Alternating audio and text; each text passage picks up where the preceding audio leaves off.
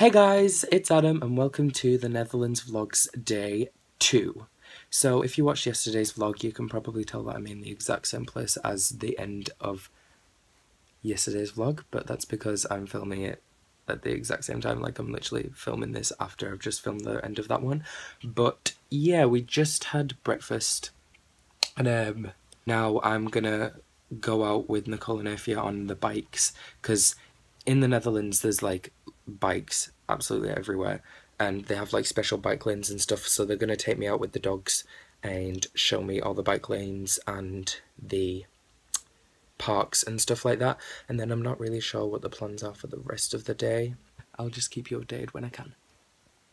I have nearly died like a million times trying to film.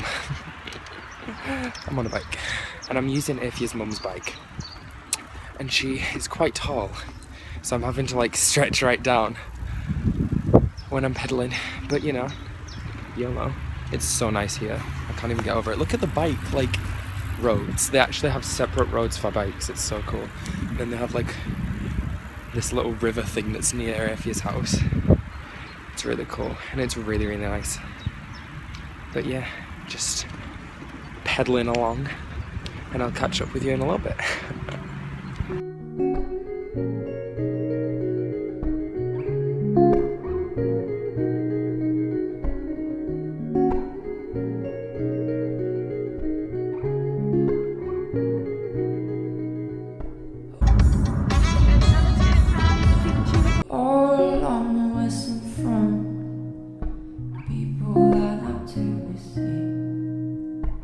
got power in her eyes, struck you like you won't believe.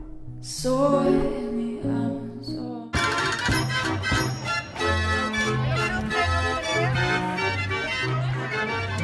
Hey guys, I'm in a thrift shop with Nicole and Effie. We're in a place called, what's it called? Hoorn. Hoorn. Say it. Hoorn. What? Hoorn. That's Effie. Nicole. Nicole.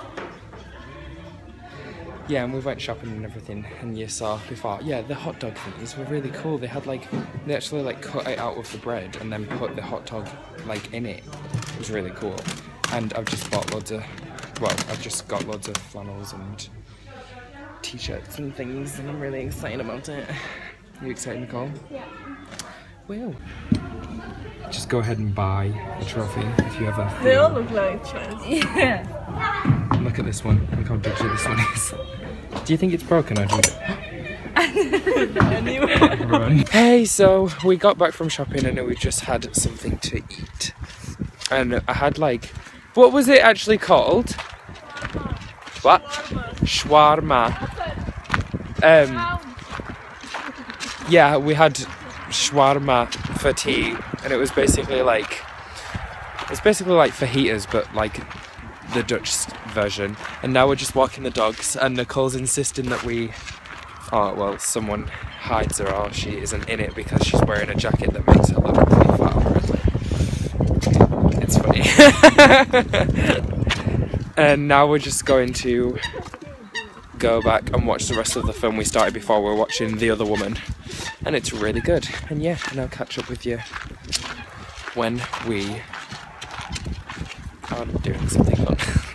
hey guys, so it's pretty late right now, which is why I'm whispering, but we go home and watch the rest of The Other Woman, like I said before, and then we also watched another film called Ten Ways to Lose a Man or something like that, and then we watched like half of The Heat, so we